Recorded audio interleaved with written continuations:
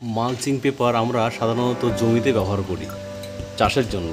কিন্তু mulching paper ব্যবহারের একটা অন্য উপায় হতে পারে।